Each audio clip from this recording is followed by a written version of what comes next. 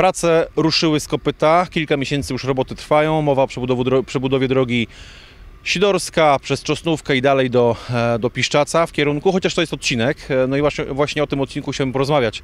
Czego dotyczą prace, na jakim odcinku, jak będą przebiegały, co do tej pory zostało wykonane, jest objazd, e, co będzie wykonane w najbliższym czasie. Do wykonania mamy odcinek drogi 3,8 km. To jest od mostu na rzece Rudka do przejazdu kolejowego w miejscowości Ogrodniki. Na tą chwilę pracę prowadzimy na odcinku od ulicy Akacjowej do ulicy Lipowej. Ustanowiony jest objazd ulicą Akacjową i ulicą Lipową. Problemów na ten moment nikt nie sygnalizuje. E, każdy rozumie. Jesteśmy na etapie wykonywania robót ziemnych, podbudów. W najbliższym czasie planujemy na odcinku od ulicy Akacjowej do ulicy Lipowej ustawianie krawężników oraz ułożenie pierwszej warstwy bitumicznej. To teraz e, trochę rozbijemy się na poszczególne etapy. Przy moście na, rzece, Rud- na rzece Rudka są już e, dwa e, przyczółki mostowe i tam powstanie ścież, e, kładka rowerowa, przedłużenie ścieżki rowerowej z miasta Biała Podlaska. Tak, to co Pan powiedział to się zgadza. Roboty y, betonowe zostały dzisiaj zakończone. W najbliższym czasie przewidziany jest montaż wcześniej wymienionej kładki, która będzie stanowiła jakby część ścieżki od miasta aż do miejscowości przy torach kolejowych, to miejscowości Ogrodniki. Dodajmy, że ta kładka przejdzie w całości. Tak, będzie to element y, monolityczny, prefabrykowany na naszym y, rynku, terenie. Nie przypominam sobie i nie są znane mi są y, podobne, podobne elementy. Także chyba to będzie nowość. Czekamy, bo to będzie ciekawe. E, No i teraz dalej, e, znacznie, idąc tutaj rozmawialiśmy, e, ta trasa przez Czosnówkę znacznie się zmieni i już sama szerokość e, 6,5 metra drogi samej dla samochodów, do tego dochodzą jeszcze ścieżki rowerowe i pieszo-rowerowe. Wyliczyliśmy, że to około 10 metrów.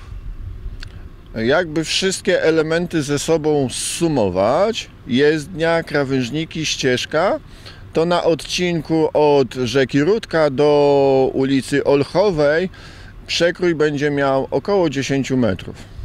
Do tego dochodzą przebudowane skrzyżowania, bo tak jak teraz e, obserwuję, te zjazdy zostaną poprawione w obecny objazd, ale również skrzyżowania tutaj przy tej trasie będą przebudowane. Tak, przewidywane są remonty również skrzyżowań, to mamy w zakresie i to też będziemy czynić. Jesteśmy na pierwszym z odcinków, który jest objazd. E, Do kiedy potrwają prace tutaj? Do kiedy planujecie? Oczywiście pogoda, wiadomo, to też zrozumiałe, może się po- poprzesuwać, ale może być też wykona- wykonane wcześniej. I jaki kolejny etap? Kolejny odcinek zamknięty prawdopodobnie aż do ulicy Topolowej. Ten odcinek, na którym obecnie pracujemy, to jest pomiędzy ulicami Akacjową i Lipową. Planujemy pierwszą warstwę bitumiczną położyć do dnia 11 listopada. Jeżeli pierwszą warstwę bitumiczną w tym okresie uda nam się wykonać, zamkniemy kolejny odcinek i objazd będzie ustanowiony od ulicy Akacjowej aż do ulicy Olchowej lub Topolowej. I to będzie odcinek numer dwa. Jak wygląda przebieg prac na dzień dzisiejszy, czyli prawie końcówka października? E, mm, Jak to wygląda tu na tej drodze? Czy wszystko postępuje zgodnie z planem? No jak widzimy, y, bardzo rozbudowany y, już na ten te- czas y, ciąg tej, tej drogi.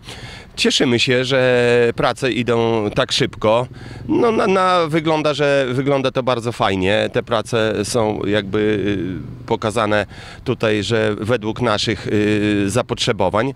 Y, No, stoi przed nami fajna taka e, sprawa, położenie kładki. Tutaj pan kierownik właśnie taką innowację. Tu będzie to dla mieszkańców też takim fajno, fajną rzeczą. Zobaczę, to, to kładka, która no, w Polsce w mało miejscach jeszcze istnieje. Także cieszymy się. Myślę, że te utrudnienia, które, mają nasi mieszkańcy, no jakoś przełkną i, i po prostu wybaczą nam, bo no, warte jest to poczekania, kiedy ta inwestycja y, ku końcowi y, zmierza, tak? Także wytrwałości tylko proszę od mieszkańców. Zadanie związane z tym, że trochę innowacji tu wprowadzamy, między innymi o tej kładce. E, Kładka e, tak naprawdę jednolity jeden element, który powstaje gdzieś tam w Polsce, a który ma dojechać do Białej Podlaskiej, tutaj do Czosnówki i być zamontowany. E, Na czym polega ta innowacja? Jest to gotowa kładka kompozytowa, e, produkowana przez firmę, nie wiem czy mogę reklamować firmę. E, firma, firma, a czyli produ, producentem tej kładki jest firma Rosenblatt. E, mają ze sobą ponad 40 inwestycji w Polsce. E, kładka, która ma być zamontowana w tej czosnówce, e, powiem, że jedyna w okolicy, w promieniu, naj, najbli, najbliższa kładka taka jest w Rzeszowie, więc nam jest daleko do Rzeszowa, żeby oglądać kładkę. Serdecznie możemy zaprosić wszystkich mieszkańców i turystów do oglądania kładki, jak będzie już zamontowana. i korzystać z niej, ale to przypomnijcie mi panowie, bo przecież takich e, kładek mostków nad rzekami, e, nad, na trasach ścieżek rowerowych i pieszych trochę żeśmy już w powiecie bialskim pobudowali, między innymi ta w Grabanowie. Tam jest inna konstrukcja, inna, inny element? E, tak, w Grabonowie kładka jest e, w całości wykonana betonowa, a tutaj znowu jest kompozyt. Ten kompozyt polega na. W sumie to jest z odpadów, które ludzie wyrzucają do śmieci.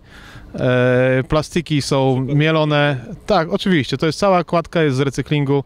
E, wytrzymałość takiej kładki wcale nie odbiega od kładek betonowych e, bo ta kładka niby jest dla ruchu pieszych i rowerowych i rowerowego ruchu, ale spokojnie po nim służby ratownicze będą mogły przejechać, aby udzielić pomocy w razie, w razie zablokowania drogi.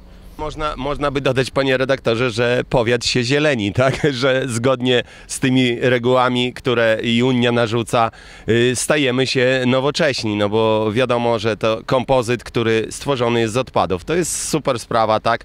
Więc y, wpisujemy się też w te zazielenienie powiatu.